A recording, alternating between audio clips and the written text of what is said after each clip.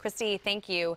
So near and yet so far, oyster sanctuaries are currently off limits to watermen, and they'd like at least limited access. Alex Demetrick reports that wish is now getting some serious consideration.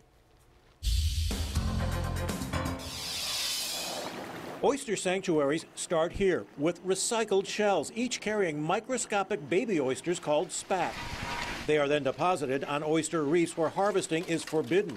24% of Maryland's oyster reefs are in sanctuaries. Over the past five years, It basically has co- cost Waterman probably around $20 million, I, I would say. in oysters, they are not allowed to catch and sell.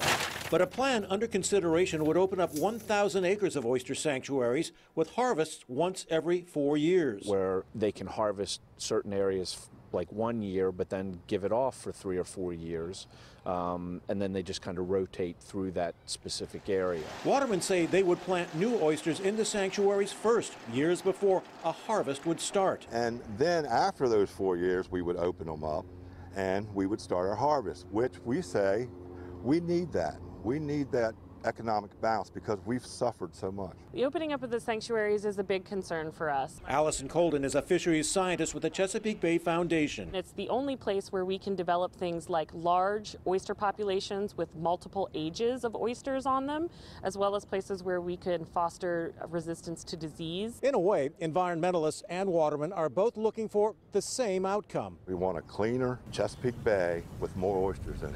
Alex Demetrick, WJZ Eyewitness News. Right now, an oyster management plan is in the early stages with all proposals just that proposals that might or might not win acceptance.